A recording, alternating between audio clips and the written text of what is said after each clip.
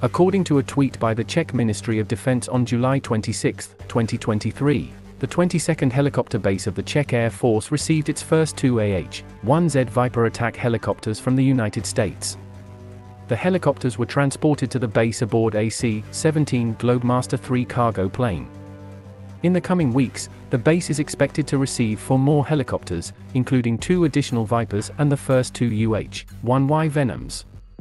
The delivery of the American helicopters is considered an important development in the modernization of the Czech armed forces, as it represents a shift from reliance on Russian equipment to adopting a more modern Western platform from a significant ally. Accompanying the arrival of the helicopters, a group of American specialists also arrived in the Czech Republic.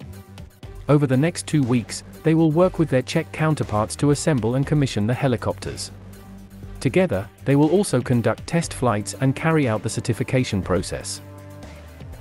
Following this, a mobile training team from the USA will arrive in August to provide training to the personnel of the 22nd Helicopter Base, scheduled to commence on September 1st. The official presentation of the helicopters will take place on August 17th in NA with a QTEM, with the participation of senior defense officials and military representatives.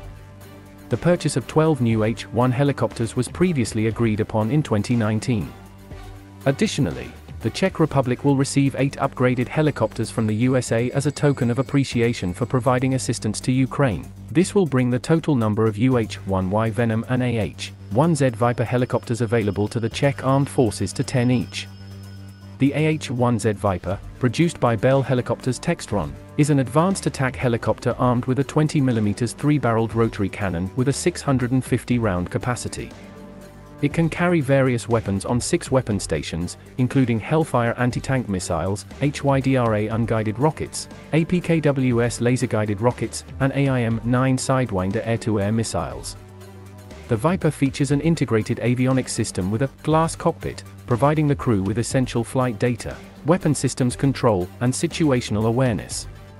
The helicopter is equipped with third-generation electro-optical infrared sensors and precise targeting capabilities. The arrival of these advanced helicopters marks a new chapter for the Czech Air Force, enhancing its capabilities and readiness on the modern battlefield. The transition from Russian equipment to modern Western technology represents an important step forward for the country's defense forces.